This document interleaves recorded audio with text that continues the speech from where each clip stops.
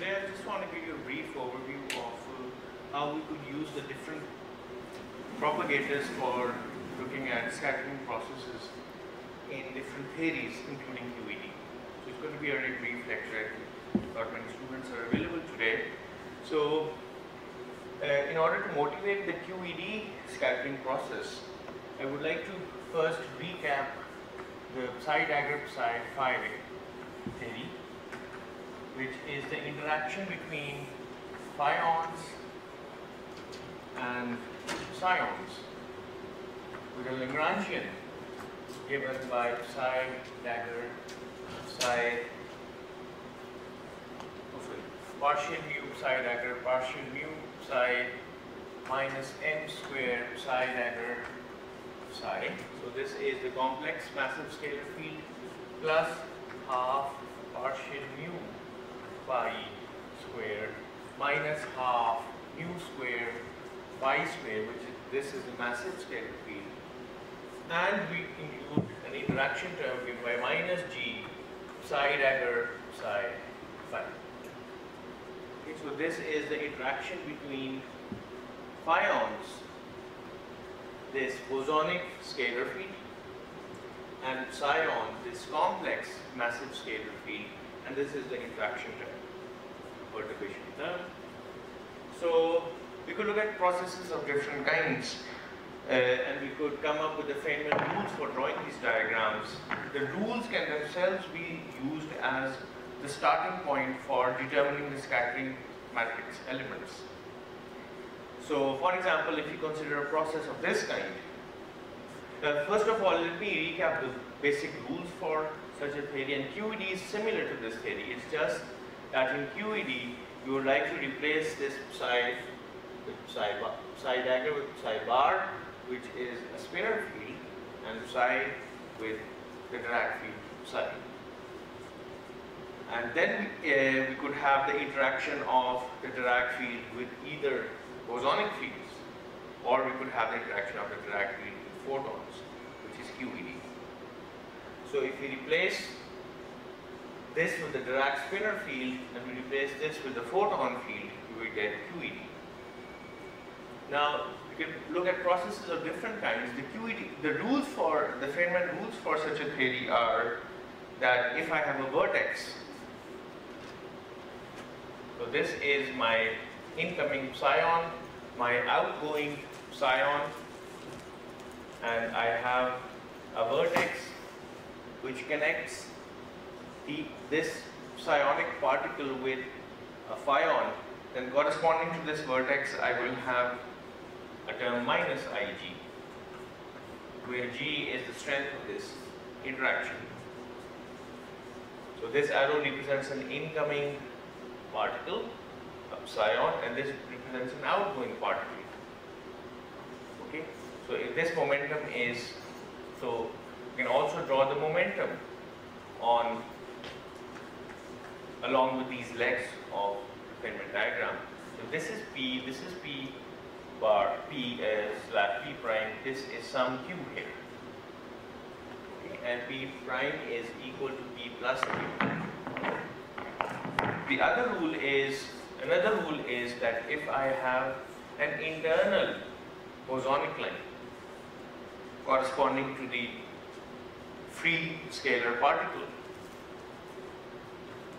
this is, these are my psion and this is an internal line. That corresponding to this internal line will have a propagator given by the propagator for a free scalar particle which is iota if this momentum is say q iota over q squared minus mu squared which is the mass of this phion plus an infinitesimal term.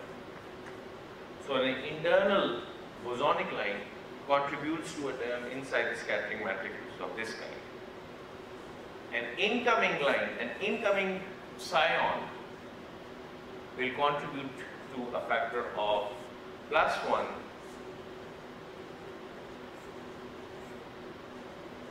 and an outgoing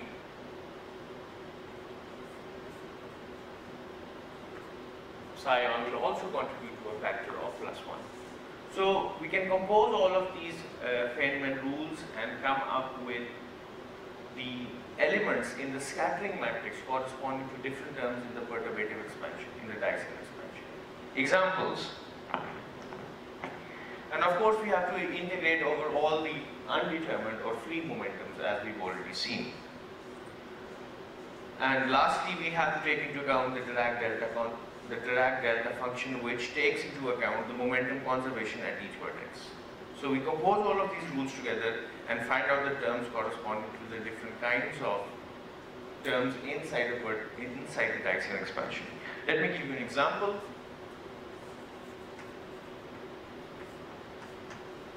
So an example of a so, so-called T process. In a T process, inside this theory, which is also called Yukawa's theory,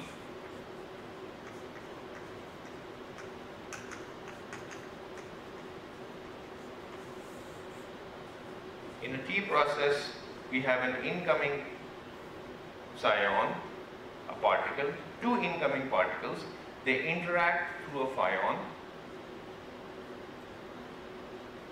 There's no arrow here because this the Q for this phion is 0 and then you have an outgoing psion and an outgoing psion. So you'd like to write down the the terms corresponding to this Feynman diagram inside the psi dagger psi phi theory. Alright. So what does this diagram correspond to? A particle of momentum p1 comes in. So this is the creation of, of a particle. Therefore, this corresponds to a term A P1 dagger. And we would like to find the contraction of this A B1 dagger with some other term, say psi, this is Z, psi W. Okay, so this leg corresponds to this contraction. So if I write down the expansion of the Dyson expansion, I know that this term only exists in the second order. There is no term in the first order because we have an odd number of terms inside the in the perturbative part, inside the interaction part. So if I were to write down the term to which this diagram corresponds, I can take the vacuum state here, the vacuum state here, what I am doing is that I am creating two kinds of particles of different momenta, AP1, AP2, okay, and I am also annihilating these particles at the end, AP1, AP2, and then I have these terms up to second order. So I have psi dagger Z, psi Z, phi Z, psi dagger W, psi W, and phi W. So this diagram will correspond to different, one particular pairwise contraction weak, weak contraction of this term. What does it correspond to? It corresponds to, let me write down this more clearly. So this is psi w phi w a p 1 dagger a p 2 dagger 0. This Feynman diagram corresponds to this kind of contraction. AP1 is being contracted with psi W. AP2 is being contracted with psi Z here. Okay, so this is AP2 dagger psi Z. This is what this leg corresponds to. Now this is an internal bosonic line. this would correspond to the contraction between phi w and phi z. Okay. So phi z, phi w. This term is an outgoing line. This corresponds to the creation, uh, the annihilation of a particle of momentum p1. This term being contracted with psi dagger w. Okay, so this is a p1 contraction with psi dagger w whereas this term corresponds to the contraction of AP2 with psi dagger Z.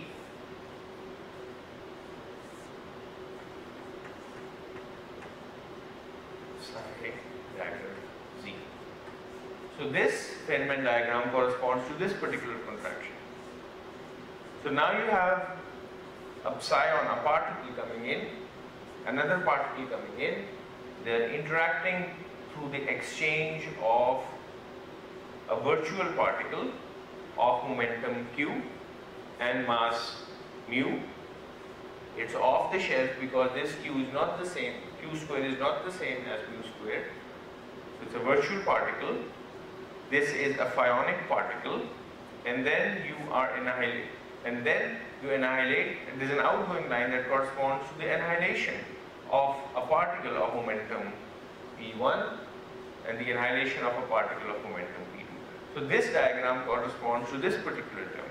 And I could write down the corresponding term inside the second order expansion, the A that corresponds to this scattering process will be given according to the rules of this theory as minus Ig, there are two vertices, so I take the square of this. There is one vertex here, a z vertex and a w vertex.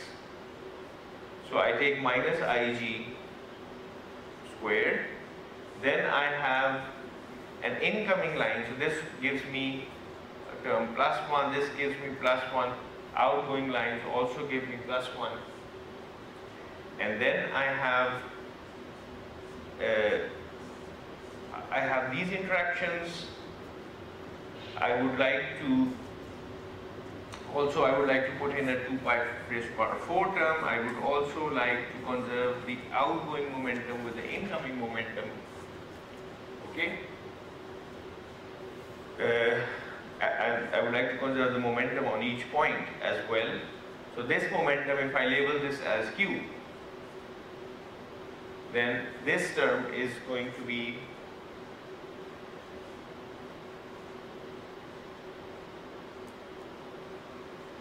So uh, what I could do, this is actually, so this is Q1 and Q2, some arbitrary momentum, Q1 and Q2. This is Q1, Q2. This is some arbitrary momentum. It's not P1, P2, and this is some other momentum, say K. So I would like to conserve the outgoing momentum with the incoming momentum, which means that I would like to take the Dirac delta function Q1 plus Q2 minus P1 minus P2. Okay. I would like to have a term corresponding to this internal line which is I. I call this K. So I don't want to put an arrow here, it's a 4 momentum. K square minus mu square which is the mass of this particle which comes out from the theory over there some incremental term Okay, and I would like to integrate over the k.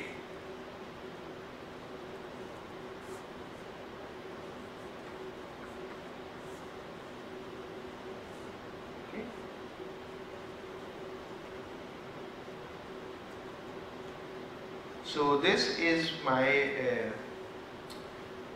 this is the amplitude corresponding to this scattering process. And then, yes? Shouldn't we also put a delta function for each vertex? Well, the delta function for each vertex is subsumed into this.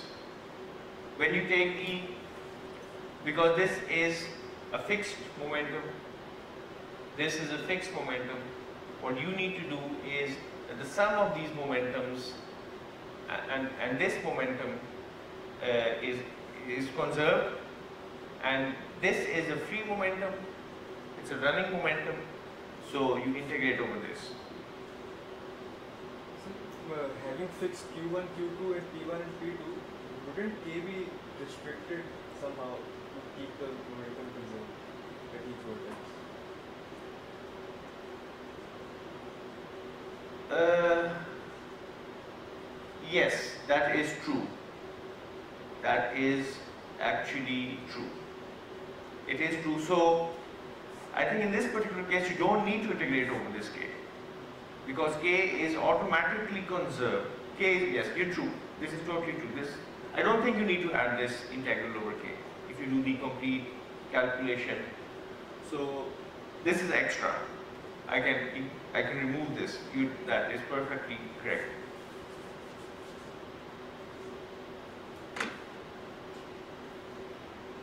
So if I fix this and I fix this, this is not fixed. This is fixed too. This is fixed too. So fixing this and fixing this, so finding out the the amplitude corresponding to P1 and Q1, which are fixed momentum, this is constrained. Alright. So this is a T, T channel process. I can have other kinds of processes as well. For example,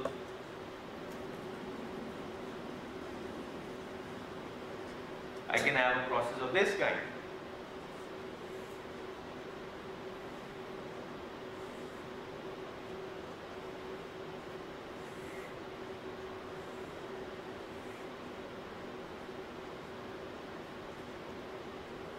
Okay. Now this means that this process will correspond to a different pairing of terms inside this perturbative term inside expansion. Okay? So the kind of pairing that this would correspond to, so this is AP1 dagger psi W. This is this contraction. This is psi Z AP2. This term now is A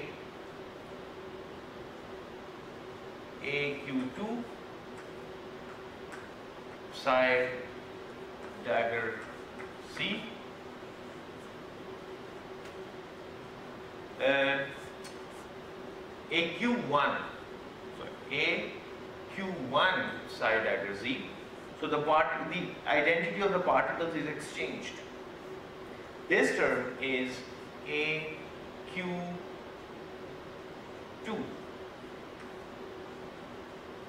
psi dagger W. So the identity of the particles is exchanged in this process. And I can find out the corresponding pairing inside that particular term. So if I have indistinguishable particles coming in and they are interacting collision, through a scattering experiment, and I don't know the particles are indistinguishable and I would like to find out the scattering probabilities, I would like to take the amplitude corresponding to this T process and the amplitude corresponding to the so-called U process. And I would add them at the amplitude level and then take the modulus square to find out the scattering probability cross sections. So this, you, you should be able to write down the pairwise contraction that corresponds to this diagram. Okay, I can also have this. I could also look at terms of this kind. So I'm writing all of this uh, second order term as S. I can have something that looks like this.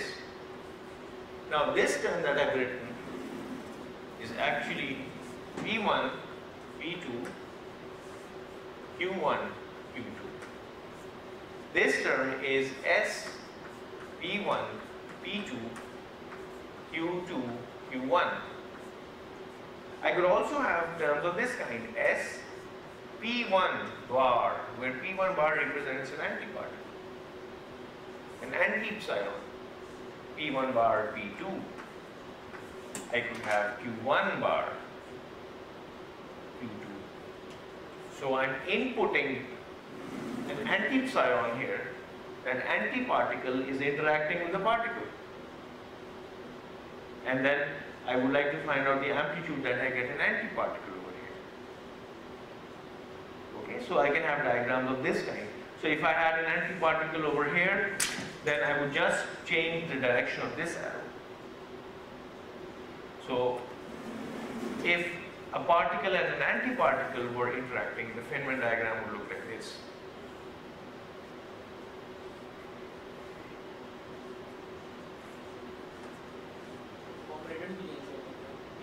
A की जगह B, B, P dagger or BP आ जाएगा.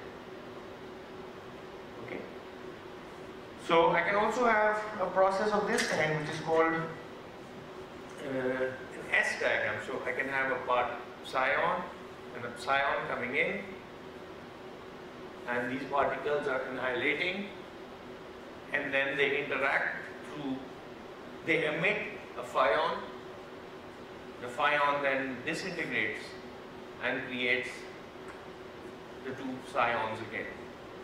Okay.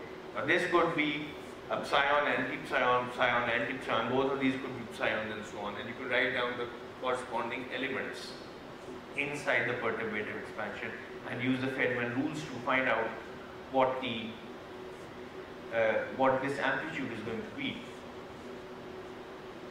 Okay. For example, in this case, if I have P1 here, P2 here, this is a momentum. This is Q1, this is Q2, this is an arrow here, an arrow here, Q1, Q2.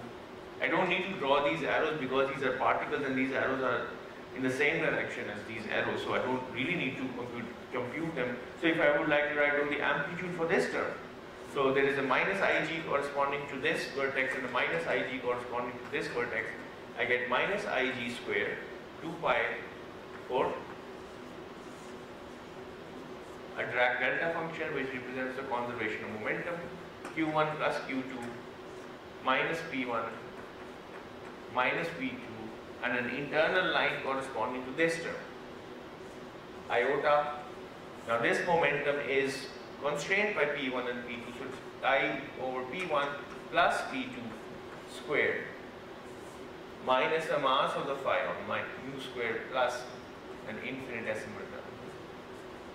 Okay, so this is the amplitude, the scattering amplitude corresponding to this uh, so-called S process.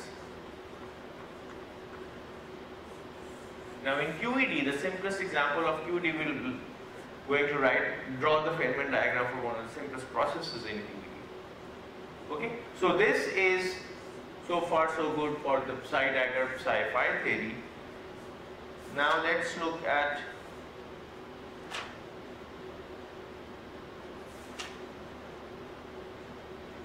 now let's uh, involve fermions in, into our picture. By the way, we don't want to, if we don't want to write down all of these terms over and over again, we could also write this thing as so if we ignore this Dirac delta function, if we ignore this, we could also use the concept of an invariant amplitude, which means that all of this could be written as iota m.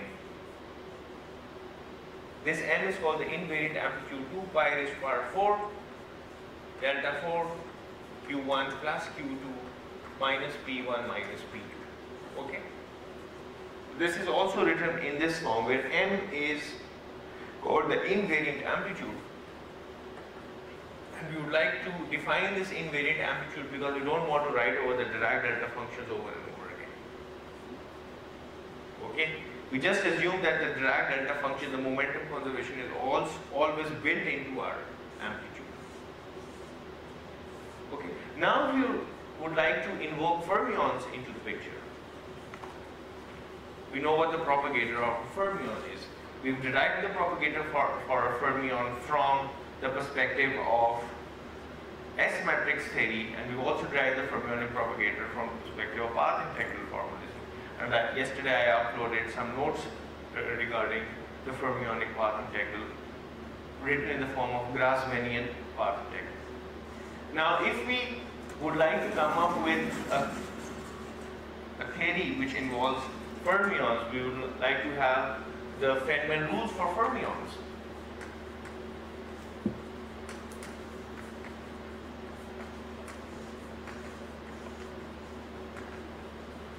Now, the rules for fermions are simple. It's only now that the fermionic states must be represented by spinors. Okay? And we need to take into account whether we have a particle or an antiparticle, and we need to take into account the helicity of the particle and the antiparticle. For example, if we have uh, fermions interacting with phions. Then the interaction term inside the Lagrangian could be written as minus j psi bar, where psi bar is the bar of a Dirac spinor, psi phi. Now this is the interaction of a fermion with a bosonic particle. Okay?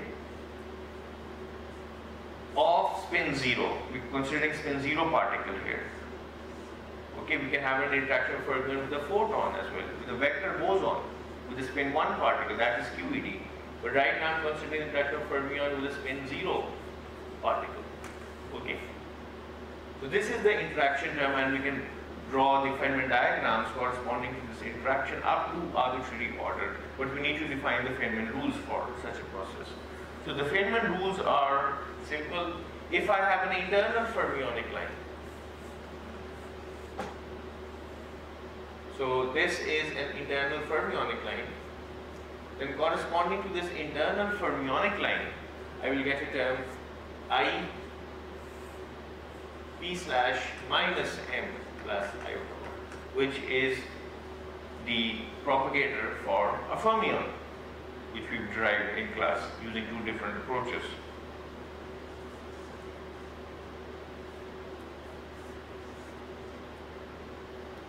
So then I have an incoming particle of spin s and momentum p is denoted by a Dirac spinor u, spin s, momentum p, And these are the Weyl spinors. So an incoming particle is denoted by USP an incoming antiparticle of spin s and momentum p will be denoted as VSP bar. Okay. An outgoing fermion will be denoted as USP bar and an outgoing antifermion will be denoted as VSP. Will contribute a term VSP. Okay? And each vertex is also going to give us minus IG, where G is the strength of this interaction. Okay?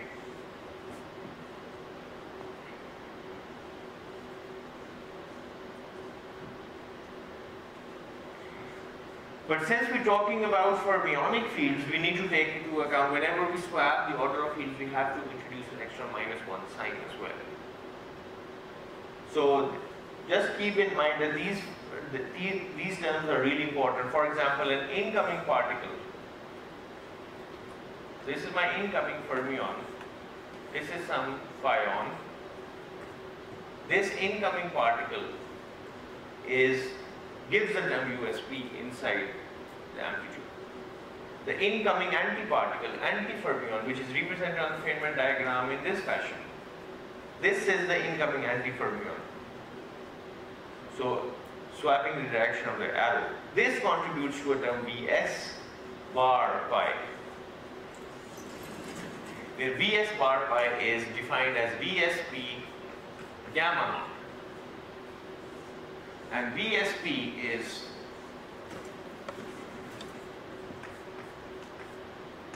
pi dot sigma square root eta where eta is the Weyl spinor for the antiparticle of spin s and minus p dot sigma bar eta s. Okay, and then you post multiply it to the gamma matrix to get the bar version.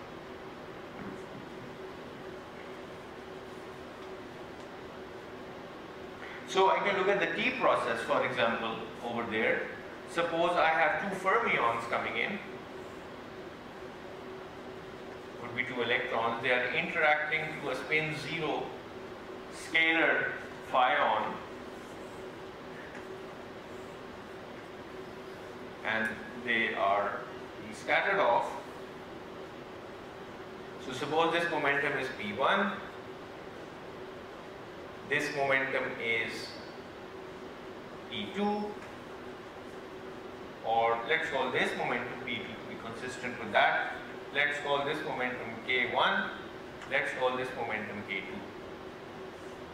Okay, if I would like to write down the amplitude for this, this is going to be, there are two vertices, minus Ig squared.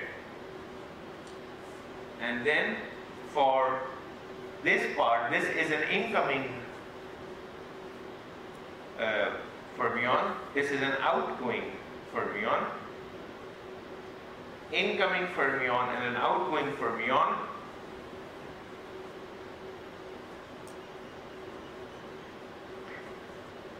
So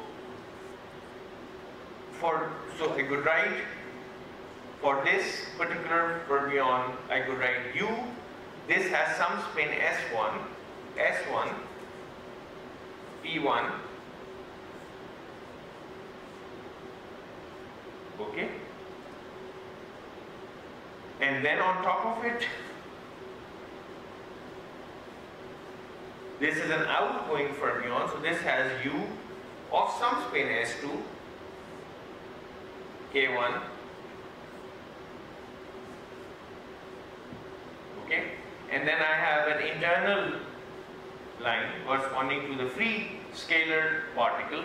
This gives me I, some momentum, that momentum is say going to be if this is the direction of exchange of the particle as drawn in the diagram this momentum is going to be p1 minus k1 squared minus mu squared plus iota 0 plus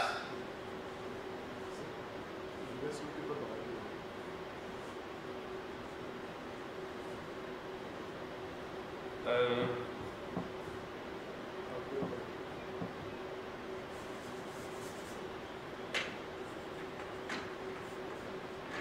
So I write a barred version before the unbarred version. Here I have U, S, let's call this pin S3, K2, bar, let's call this U, S4, P2. So this is the amplitude corresponding to this T process involving two fermions and a phi. And what I could do as an example is I would I could look at the non-relativistic limit for example.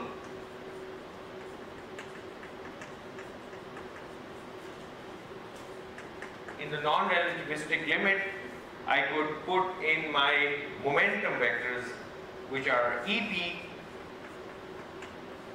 P vector as simply roughly equal to m 0, where m is the mass of the particle in the non-relativistic limit. And if I do this, I can find out these Dirac spinors. I can find out these square roots. And then I can use the properties of, of the Dirac spinors such as US1P, US2P, if this is a bar Dirac spinor, this is going to give me plus 2m delta S1, S2. So I can use properties of the Dirac spinors which we've seen in the previous lecture to find out the scattering amplitude corresponding to this process in the non-relativistic limit. And we'll see that in a non-relativistic process, this spin must be the same as this spin. Spin is conserved in non-relativistic processes. If I would like to have spin flip or spin scattering processes, it cannot be achieved in non-relativistic regime. Likewise, this spin is going to be the same as this spin. Now in QED, we would like to look at the interaction of fermions with photons. And photons add in a complication that we have to put in the terms for the photon. So if I have an incoming photon, I would like to put in a term for a photon. And if I have an outgoing photon, I would like to put in a term for the photon. The photon has some polarization as well. Okay, so it's, it's a multi-component field and it has polarizations and I need to take into account the polarization of the photons as well. So in QED, let me first write down the Lagrangian for QED. The Lagrangian for QED is, now we all know, it's psi bar iota partial slash minus m psi. This is the free part. Then I have the electromagnetic part minus 1 by 4 f mu nu f mu nu. And then I have an interaction term that corresponds to the interaction of of the Dirac fields with the photon. And we looked at this in the previous lecture when we were discussing the gauge invariance of QED this is given by Q psi bar gamma mu a view where this is the electromagnetic field psi. So this is the QED Lagrangian density. Now we need to find out the Feynman rules for QED. We just state them.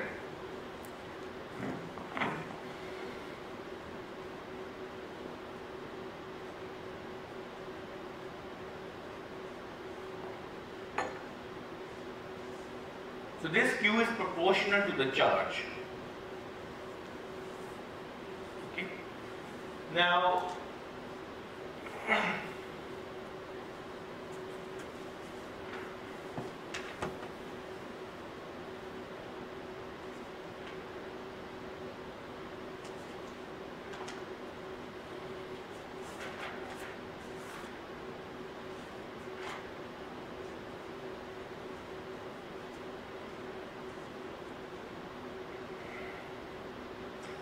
So the Feynman rules involve all the rules that we have for fermions.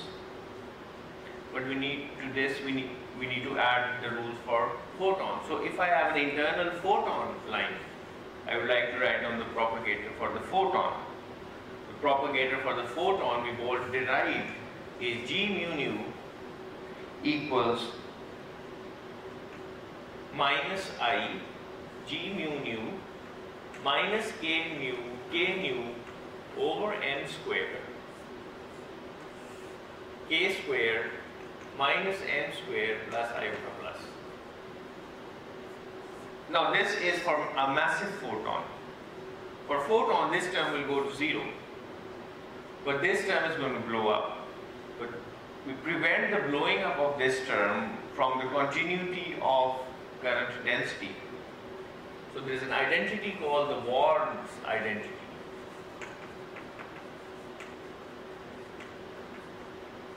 That helps to make this term go to zero. We can come up with a choice of gauge that makes this term go to zero. Alright? So for so for a photon, the propagator g is simply minus i g mu nu k square plus iota plus. For an incoming photon, we need to add a term. So photons are represented by these wavy lines. This incoming photon gives us a polarization vector E, some momentum P. Now this is vertex mu, so I denote this by mu lambda, where lambda represents the polarization.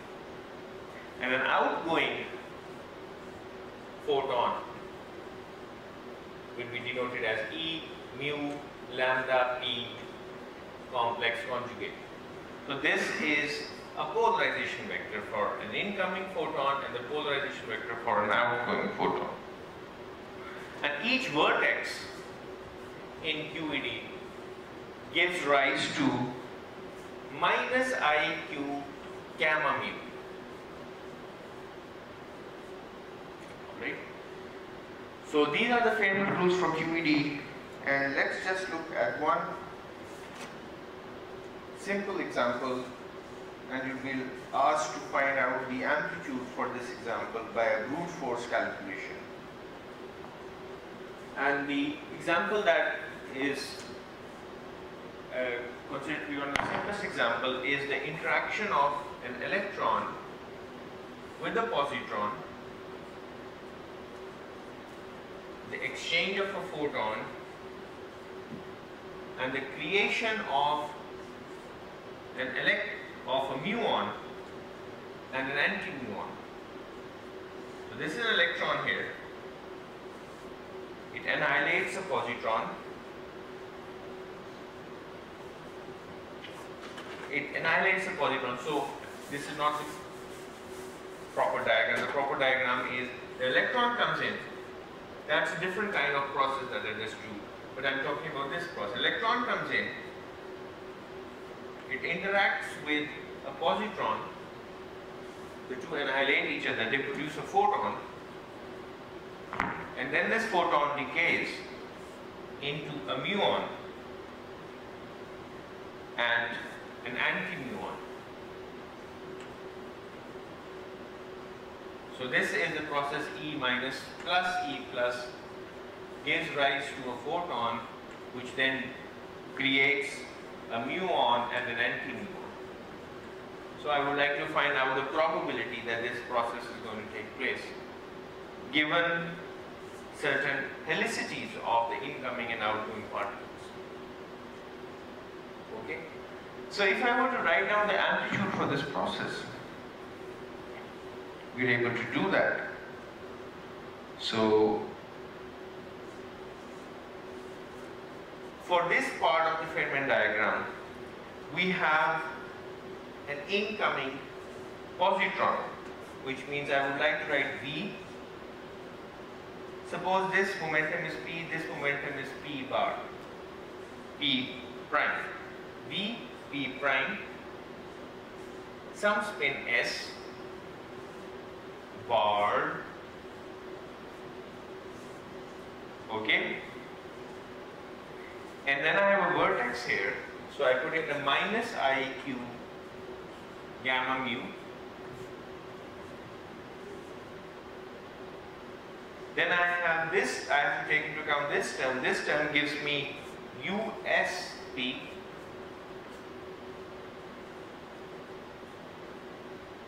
Right. Then I have this photon propagator which is going to be given by minus I g mu nu divided by there is a certain momentum associated with this. Let's call it q oh let's not call it q because i'm using q let's call it k uh, some s squared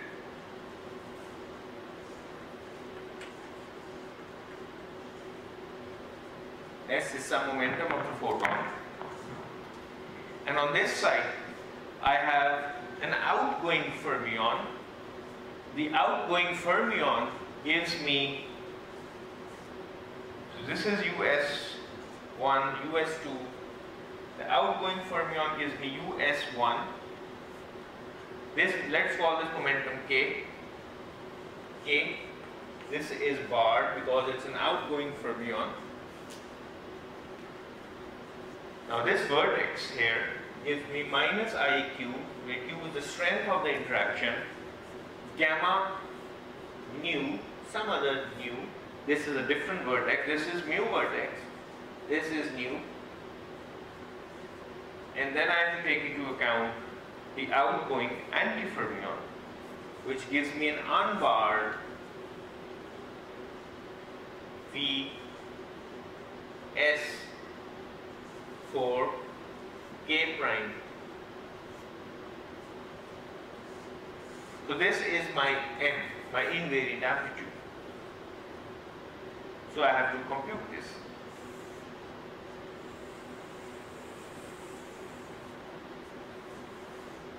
Now this is something that I would like you to do on your own. Now the, the nice thing that you observe here is that it's a Lorentz invariant form. It's a Lorentz covariant expression. I have gamma mu here, I have gamma with an upstairs nu here, and I have the metric tensor here, G mu u. Okay? I can find out the barred versions from the unbarred version the post multiplication by gamma naught, the gamma matrix. So now I can use the recipes that I have over here find out what the U's and the V's and the U's and the V bars are going to be. It's just that, I need to know the momentum and the helicity.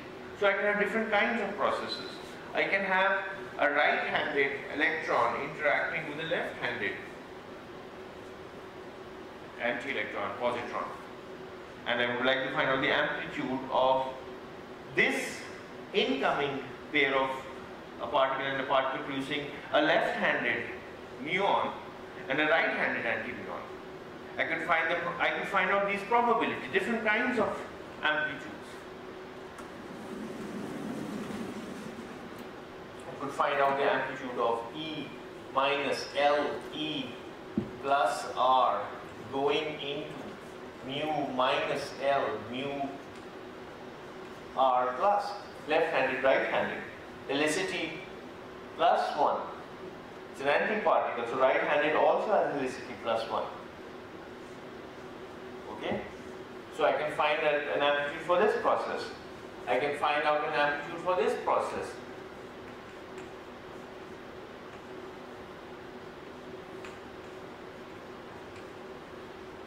I can also find out an amplitude for a process of this kind.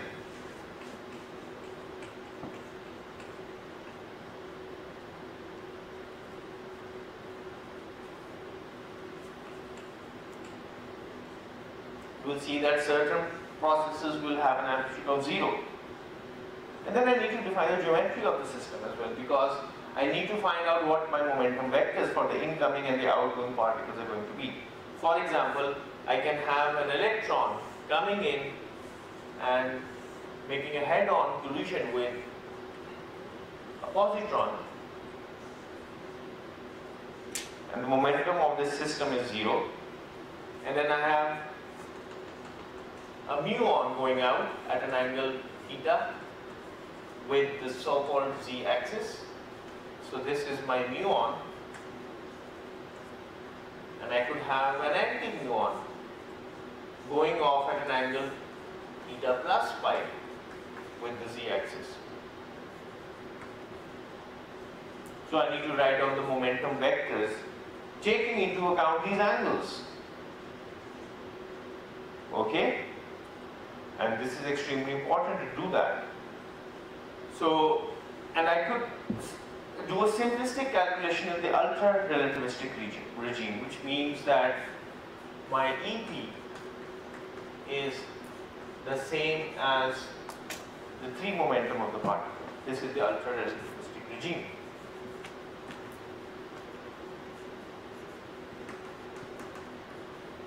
So for each case, I would like you to find out these terms over here, P dot sigma, P dot sigma bar, where sigma bar is defined as, if sigma is defined as iota sigma vector, sigma bar is defined, defined as identity minus sigma bar, minus sigma vector, okay? So using these expressions, I can find out what the u's and the v's are going to be. I, I can plug them in into this expression, do a brute force calculation, and I can find out the amplitude. And it turns out that this amplitude is going to be proportional to 1 plus cosine theta. And this amplitude is going to be proportional to 1 plus cosine theta. And these amplitudes are going to be, this amplitude is going to be 0. So this is a simple uh, calculation that I would like you to do before the exam. Uh, the exam is on Tuesday. So I wish you best of luck. I'm going to I'm going to try to upload some sample questions over the weekend that deal with QED and the last one or two lectures that have not yet been covered up by homework number 11. So I've also uploaded all the homeworks, the solutions to the homeworks. I've uploaded some uh, notes about massive electromagnetism and the excerpts of the chapter, chapter on fermionic path and as well. So thank you. What time is it? Say art. Art?